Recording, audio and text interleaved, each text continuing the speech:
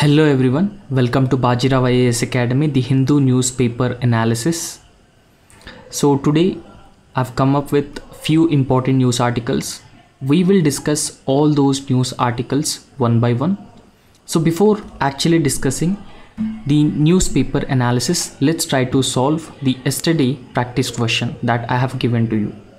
The question was the term poem 3 is very often talked about and it is also very often news is with respect to which of the following.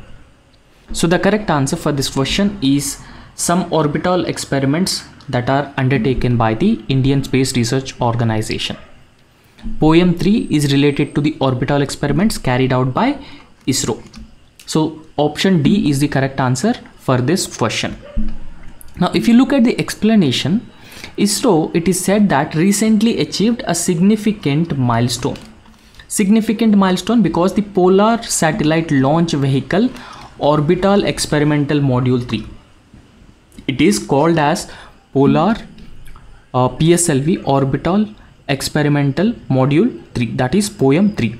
So successfully re-entering the Earth's atmosphere without leaving any debris in the orbit. Now, if it leaves any debris on the orbit or in the orbit, now that increases the debris, the satellite debris in the orbits around the space, around the planet Earth. Now, increasing debris around the planet Earth is also a cause of concern because they impact the already functioning satellites and they also pose potential threats to the International Space Center. So POEM 3 essentially demonstrates India's or ISRO's technology with respect to re-entering into the Earth's atmosphere without leaving any debris in the orbit and that is the overall objective of POEM 3. So this particular achievement by Indian Space Research Organization was done following the Polar Satellite Launch Vehicle C-58 or it is also called as XPOSAT mission. And ISRO has termed this particular technology demonstration mission as a, a very important and crucial milestone.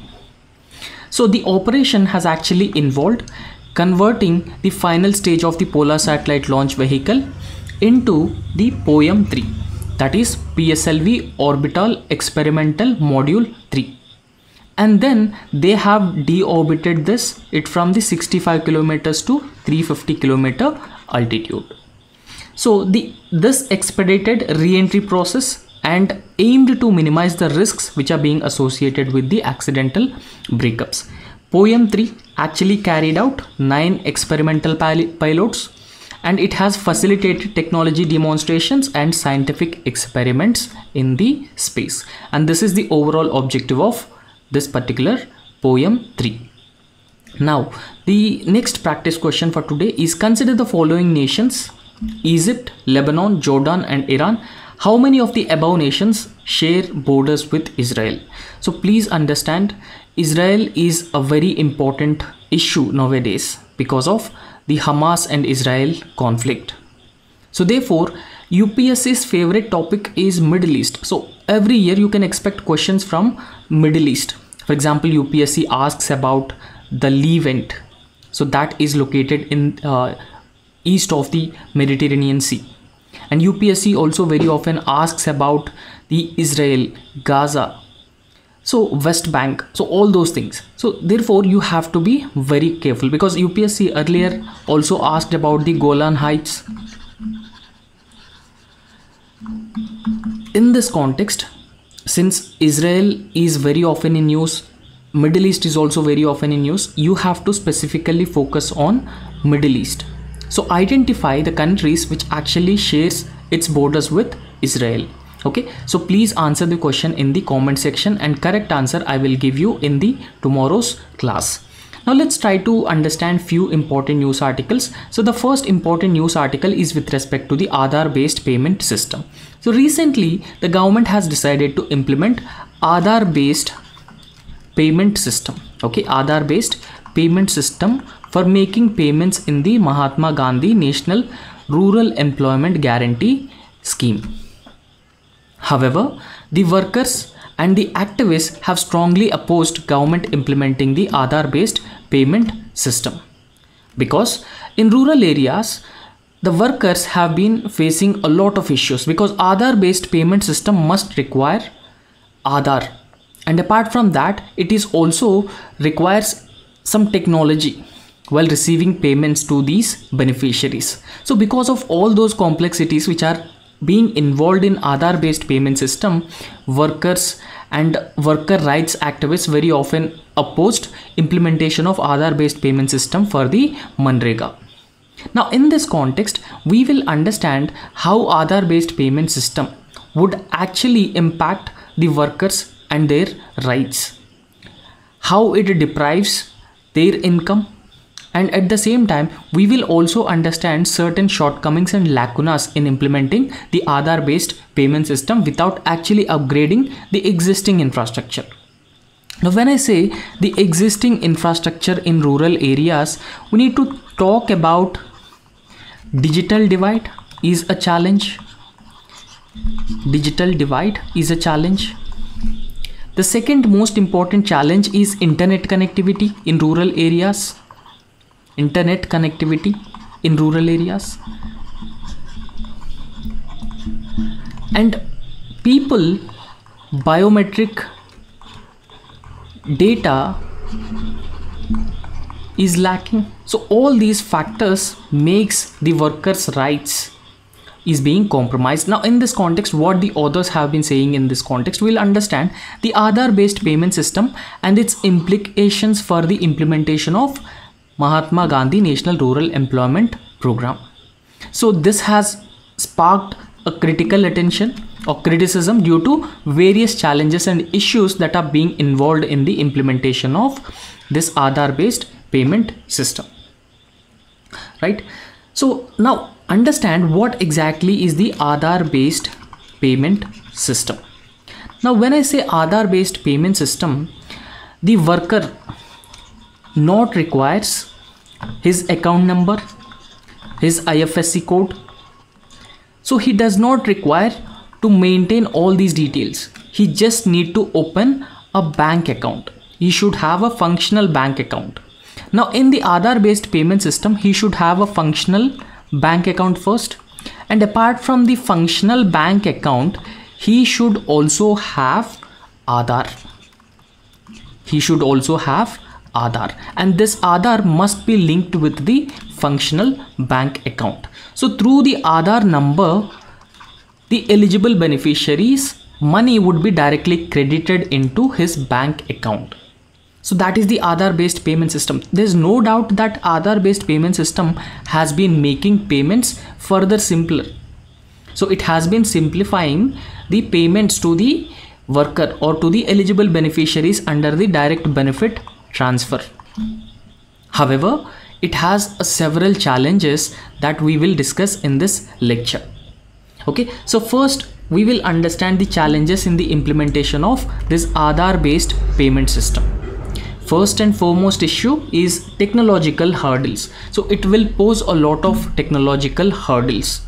For example, when we talk about the IB, uh, this Aadhaar based payment system and Manrega linkages, Aadhaar based payment system and Manrega linkages, we need to talk about the internet connectivity. A reliable internet connectivity is necessary for the Aadhaar based payment system.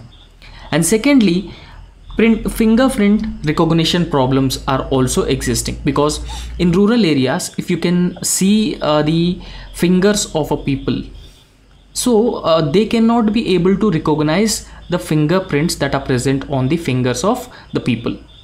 Okay? So fingerprint recognition problems are also very often comes.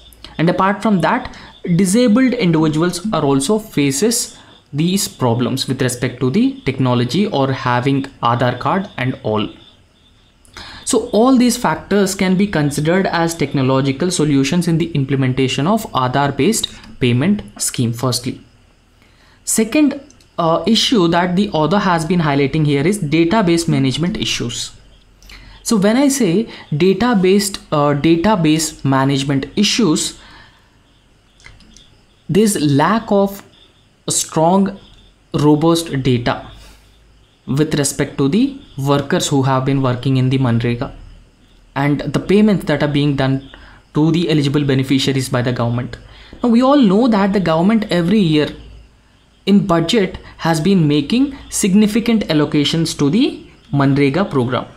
Every year the government has been making significant allocations to the Manrega program. Now why government has been making significant allocations? Because in rural areas it is major employment provider rural areas major employment provider apart from providing employment for people in those rural areas manrega program is also addressing the rural distress right? Rural agrarian distress is also being addressed by the mahatma gandhi national rural employment guarantee program. And apart from that it plays instrumental role in providing or ensuring the livelihood security for the populations. And apart from that if you can look at data with respect to manrega it is said that two-third of the beneficiaries of manrega are actually the women so therefore it will also ensure the empowerment of women by providing them adequate income. So manrega has a lot of benefits. Over and above it also arrests the urban migration. It also arrests the urban migration of the people so because of all those benefits that are being associated with it the government has been making significant allocations for the manrega program. Significant allocations for the manrega program every year. So even though the government has been making significant allocations there are certain issues. For example unrecorded working days and name duplication challenges errors in linking and elimination of names persist so all those issues that they have been facing. However recent time the government has deleted around 5.2 crore workers from the database 2022-23 okay? So because the government has undertaken the deduplication drive and that deduplication drive is actually aimed at eliminating the ghost beneficiaries eliminating the ghost beneficiaries who are actually benefiting from the manrega program but they are not part of the workforce. So as part of the deduplication program the government has deleted around 5.2 crore workers from the database 22-23 and ineligibility of 34.8% of job card holders for Aadhaar based payment system. So highlighting the magnitude of this particular issue that has been taking place. Now, apart from that, there is a huge dependency on the technology when we talk about the Aadhaar based payment system for the Manrega workers.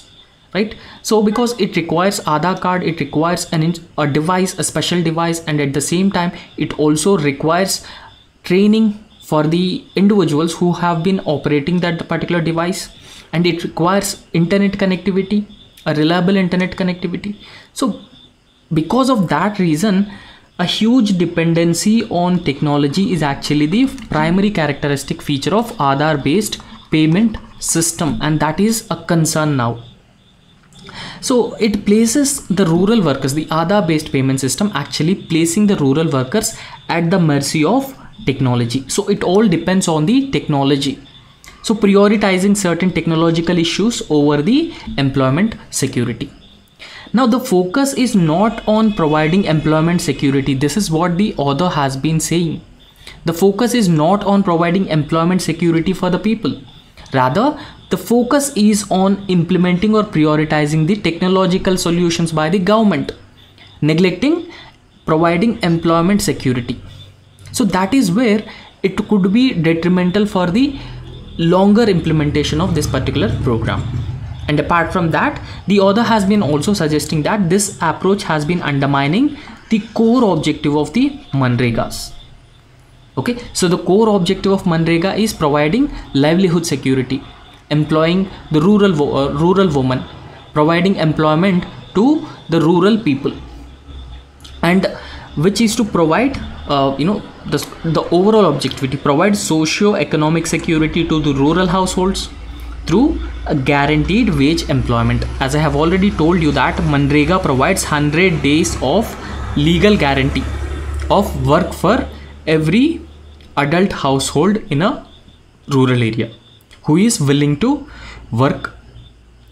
So apart from that we should also understand technology versus worker empowerment so the government has been focusing or prioritizing what? Whether the government prioritizing technology or worker empowerment. That is what we need to understand and that is what the author has been suggesting. So firstly there is a misconception of the technology's role the role that technology can play. Okay? So the design and deployment of Aadhaar based payment system has actually positioned technology as the focal point and that has sidelined the welfare of the workers.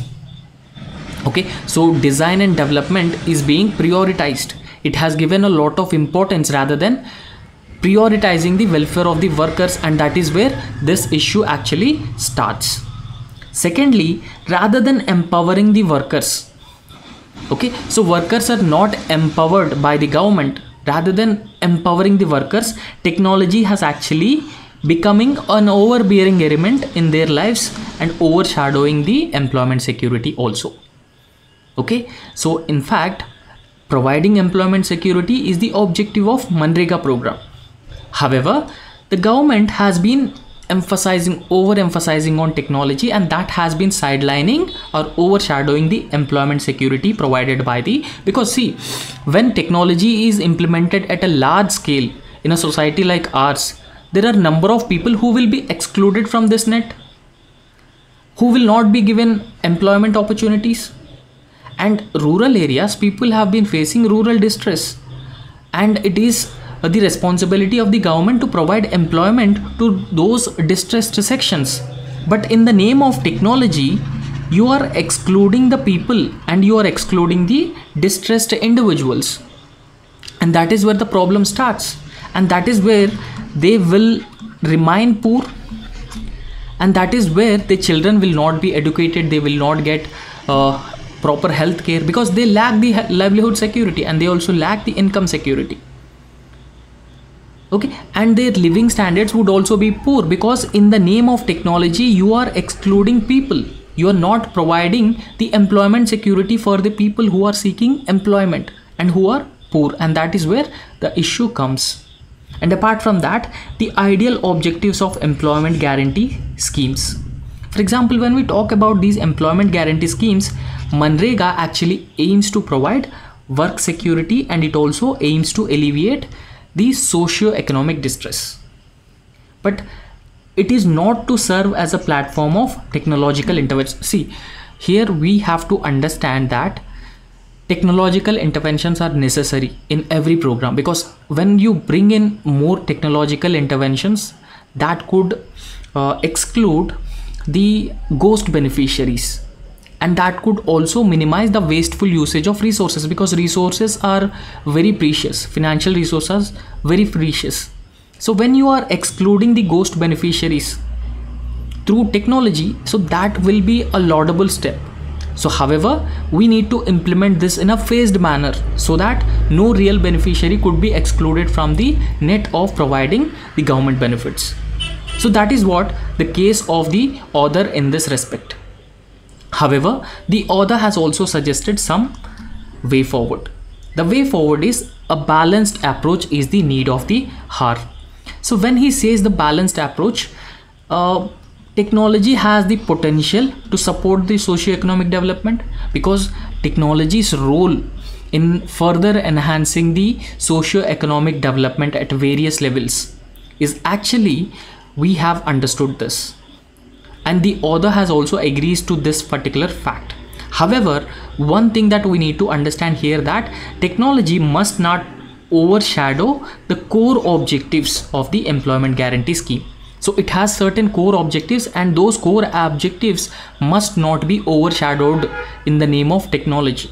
Every eligible beneficiary should be provided with the adequate employment opportunities livelihood securities so that there will be an opportunity to improve his conditions.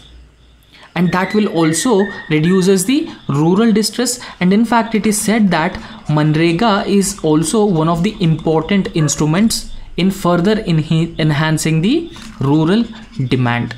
Rural demand is very important economic term. Okay so apart from that lessons from the past failures. For example during covid-19 pandemic there are a lot of technological interventions have been undertaken. And what lessons we have learned from covid-19 pandemic through these technological interventions is that some technological interventions were failure. Okay? So we have seen the failure of those technological intervention.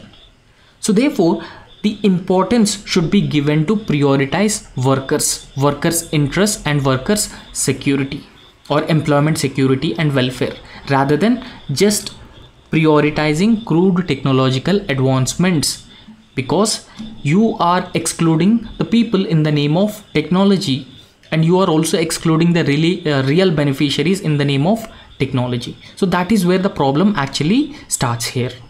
Okay? So apart from that the author has also been suggesting few aspects. One is he suggesting to align the sustainable development goals. Okay? So manrega must be aligned with all the sustainable development goals because rural employment guarantee schemes significantly contribute for the achievement of all sustainable development goals whether directly or indirectly. So for example if i can tell you sustainable development goal number 5 talks about gender equality gender equality. Now don't you think that two-thirds of rural women have been part of mahatma gandhi national rural employment guarantee scheme and when they are earning their decision making power in the families would increase. So apart from decision making power don't you think that they become uh, you know financially independent? Financially independent. And it is also said that if you educate a man you educate a person. If you educate a woman you educate the entire family. Okay? So when woman decision making power in the family increases and women financially independent so that helps in achieving sustainable development goal number 5 okay so this is just one example but if we align the manrega with the sustainable development goals then it will help in achieving all the sustainable development goals in one way or the other way directly or indirectly. So this is what the author has been suggesting. And apart from that states technocentric approach must align with the goals of inclusivity and socio-economic empowerment. So it is good that state has been coming up with new technologies for eliminating the ghost beneficiaries it has been undertaking the deduplication drives through technology. So that is the good thing. But it must focus on inclusivity and socio-economic empowerment that no eligible beneficiary should be left out from the government scheme benefits. And that is what the author has been suggesting or emphasizing on. He has been emphasizing on inclusivity and economic empowerment. Okay? So one minute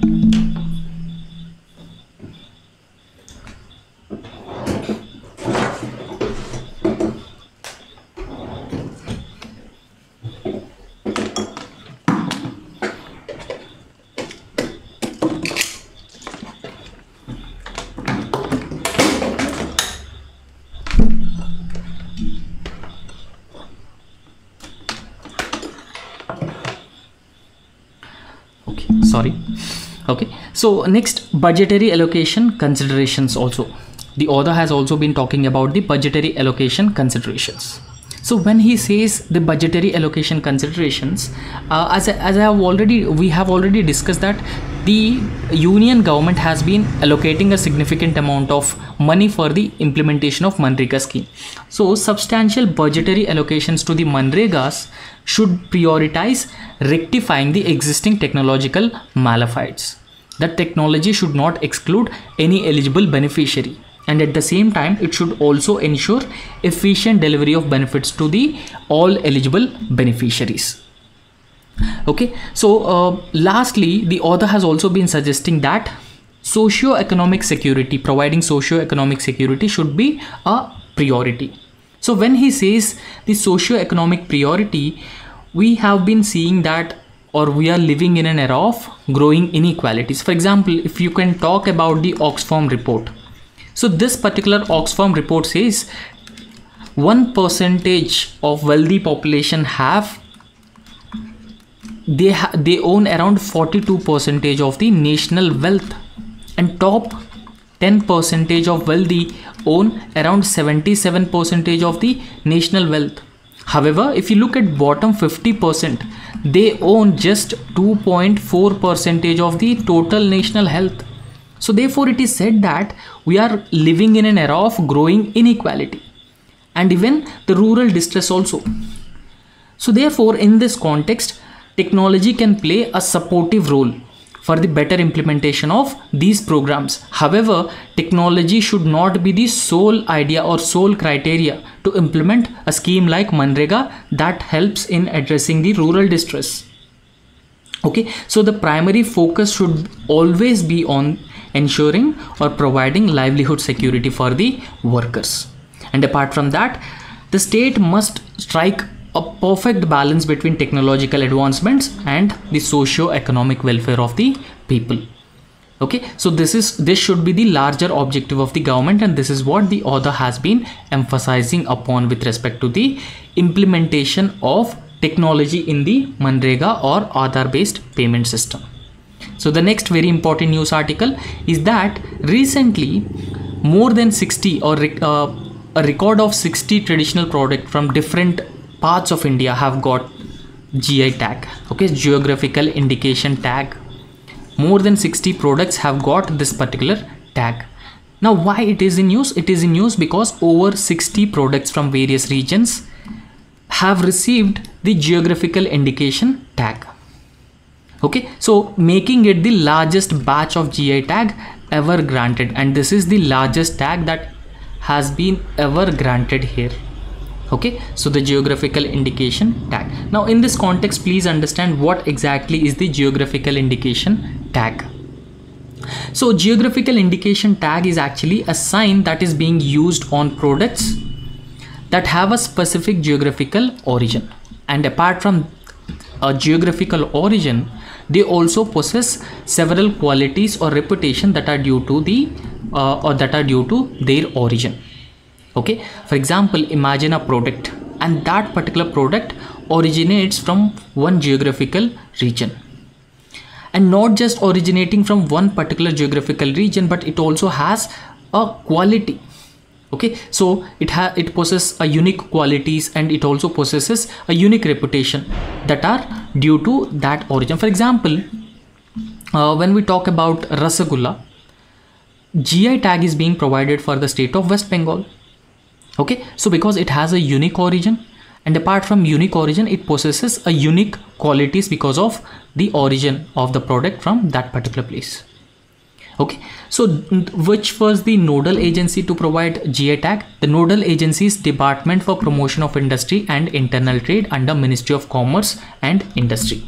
So this is the nodal agency which provides GI tag. So india is actually a member of world trade organization and India has passed a legislation called Geographical Indication of Goods Act 1999 okay? So geographical indication of goods registration and protection act 1999 with the effect from september 2003 so as per this particular legislation because india is a member of wto and as per this particular legislation a product which has originated from a unique geographical origin and apart from that a unique qualities it consists of. Because of origin from that particular region it is conferred with the geographical indication tag. Okay? So gis have been defined under article 22 clause 1 of the world trade organization agreement on trade related aspects of intellectual property rights or trips mechanism so the tag stands or it valid for 10 years and it can also be renewed after the expiry of its gi tag. Now what is the purpose of providing gi tag? So gi tag eliminates duplication of products. Duplication of products. Gi tag actually certifies the brand value and its origin from one particular region. So thereby benefiting the original origin place of a one particular region or people uh, who manufacture this particular product. Okay? So that is the overall purpose of GI tag which prevent the duplication of these products. Okay? So there are a series of products which are being given the GI tag. So first Bihu Dhol from Assam. So Bihu Dhol is a traditional drum that is being used during the Bihu festival we all know that Bihu festival is celebrated in a large scale in Assam state. And apart from that Japi so that is actually bamboo headgear worn in rural Assam. And Sarthebari Metal Craft that is also from Assam traditional metal craft producing utensils and artifacts and Mishing handloom products that is also from Assam. Hand woven textile including shawls and saris and Asharikandi terracotta craft that is also from Assam terracotta pottery and decorative items.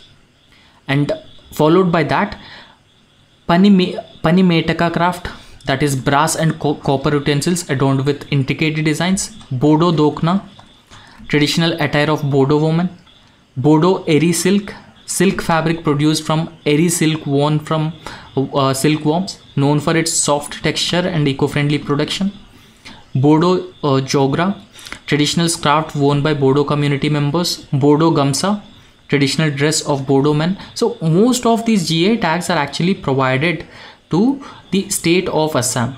Bodo Thorkha, Bodo Saifung, uh, Benaras uh, Thandai. If you want, you can pause the video and you can uh, note all these uh, products which are given uh, GI tag recently. And apart from that, the Benaras Tabla, Benaras Shehnai, and uh, Parcha Rignai, Matabari Peda, Garo Textile Weaving Meghalaya, and Larnai Pottery Meghalaya, Chubichi that is also from Meghalaya. Okay, so these are the GI products that are recently given the GI tag by the Ministry of Commerce and Industry Department for Promotion of Industry and Internal Trade to promote their original nature and at the same time prevent the duplication of these products thereby benefiting the original manufacturers of these product. Okay? Because remember india is a party to the TRIPS agreement. Okay? So this particular TRIPS agreement protects the intellectual rights of different products and individuals. Now next important news article is with respect to the water crisis the looming water crisis in India. Okay, so water deficit worsens other adverse events for the poor.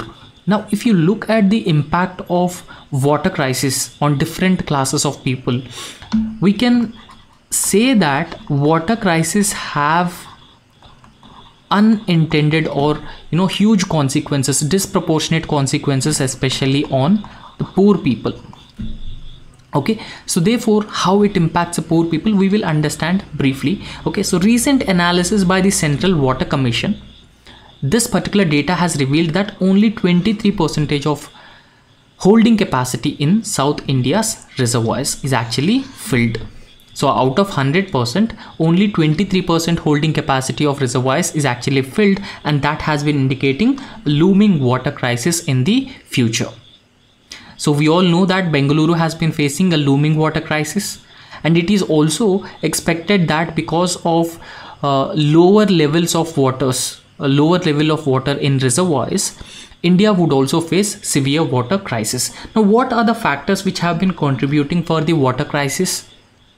In the present context, first and foremost, we need to understand the impact of El Nino events. So I hope all of you have a basic idea about the event of El Nino right? So El Nino is all about the differential heating of the eastern Pacific Ocean and the western Pacific Ocean. So in normal times in eastern Pacific Ocean it comes under the influence of warm cold water currents. Okay so it comes under the influence of cold water currents and the western Pacific Ocean comes under the influence of warm ocean currents. Okay so that lead to the movement of winds from the high pressure region to the low pressure region thereby experiencing good monsoon over the Indian subcontinent. However, with the El Nino, this particular trend would be reversed. So, reversed means that the Eastern Pacific Ocean would now come under the influence of warm ocean currents and it now comes under the cold ocean currents. So this results in drought like conditions in Indian subcontinent, Indonesia and Australia. Okay, so the current water crisis in South India is actually further exacerbated by the ongoing El Nino event and it is one of the strongest in the recorded history and that is very often associated with severe drought like conditions on the Indian subcontinent. The second reason was El Nino events very often lead to the erratic monsoons and further aggravating the water scarcity. I have explained you the phenomenon of El Nino. So El Nino very often leads to the erratic rainfall and erratic monsoon means water scarcity in different parts of our country because the rainfall would be below average rainfall and that leads to the severe or serious water scarcity. And now we can see escalating the climate change and climate change related impacts also that have been driving factor in water crisis. Because meteorologists have actually predicted that worsening conditions due to climate change with 2023 being one of the warmest or hottest year on record. So that further increases the water demand. And if you can look at India, so we have been contaminating more and more water resources rather than using them in a wise manner. And at the same time, the agriculture sector is one of the largest user of groundwater. Okay, so that has been creating a lot of water crisis and water stress in India. So since it is the warmest year on record and projections have been further indicating that the temperatures would increase in future. And this increases drought conditions and intensifies the water scarcity also. Okay. Now after that the upcoming general elections. So the upcoming general elections uh, also have the impact on the water availability and water crisis. So with millions of voters are expected to spend their additional time outdoors during the general election water demand is likely to rise further adding pressure to the already strained water resources. Okay? So this was the author's opinion with respect to different factors that have been contributing for the existing water crisis. And apart from that there are certain challenges which are existing. And those challenges have been further compounding these factors. Okay? So they include inadequate preparedness for this water resources. So inadequate preparedness means we have already faced the water crisis in uh, you know past also in the past also. And improved policies and improved forecasting from the past experiences. But actually there is a gap which is existing between preparedness and implementation of those effective measures or improved policies and that is where the problems are actually coming up.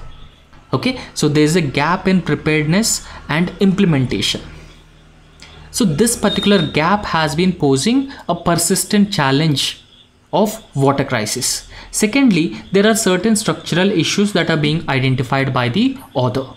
So the structural in issues include unplanned urban growth. Now unplanned urban growth resulting in wasteful usage of existing limited precious water resources and apart from that over extraction of the agriculture uh, groundwater particularly by the agriculture and even the industries. So these industries and even agriculture sector have been polluting the existing scarce water resources thereby making the available water resources very limited and they have been contributing for the water stress or water crisis in india and apart from that there is also a chance of lower water usage efficiency and higher encroachment on the catchment areas. When the catchment areas are being encroached upon by the people so what generally happens? So it reduces the level or the capacity of those catchment areas to contribute for the stream to contribute for the uh, river and at the same time reducing the underground water seepage okay? So all these factors have led to the increasing water crisis.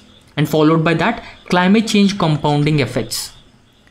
Climate change compounding effects means climate change further exacerbates the existing water scarcity or water crisis and it will also increases the likelihood of simultaneous crises such as droughts disease outbreaks and further impacting the socio-economic conditions particularly among the marginalized groups now this is how water will have an impact on the marginalized sections of the society so therefore this water crisis have to be adequately prioritized and careful planning is required in this context. We must reduce the gap between preparedness and implementation when we are talking about the water scarcity or water stress. And at the same time, we need to identify certain industries which are polluting the existing water resources, which are contaminating the resources. And we must encourage farmers to avoid water guzzling crops and at the same time promote the micro irrigation techniques okay precision irrigation so that helps in efficient usage of existing water resources by all so that we can uh, avoid ourselves from the looming water stress or water crisis and this is what the author has been emphasizing on. So the next important news article is with respect to genetic profiling of captive elephants in kerala to begin soon.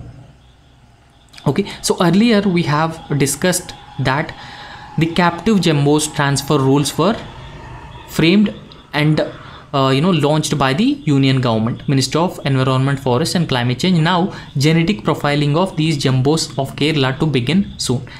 So on my left you can see that there are a lot of uh, you know tiger reserves or elephant reserves sorry elephant reserves across the country. So project Elephant was launched by Government of India in the year 1992 for the protection and conservation of wild elephants in their natural habitat. Given here all these are elephant reserves across India. Okay, now we'll try to understand what exactly is the genetic profiling of captive jumbos of Kerala. Okay, so genetic profiling of Kerala captive elephants to begin and this genetic profiling of captive elephants will help in aid in conservation efforts and at the same time it is coinciding coinciding with the festive season. Because in kerala you can see a largest number of a large number of animals which are being associated with the temples. So when it is associated with the festive season it would become difficult to get the genetic profiling of these elephants done properly. So that is a concern and that is being highlighted here now what are the highlights of this genetic profiling initiative? And this initiative will be launched by wildlife institute of india. And wildlife institute of india will conduct genetic profiling of kerala's 400 captive elephants.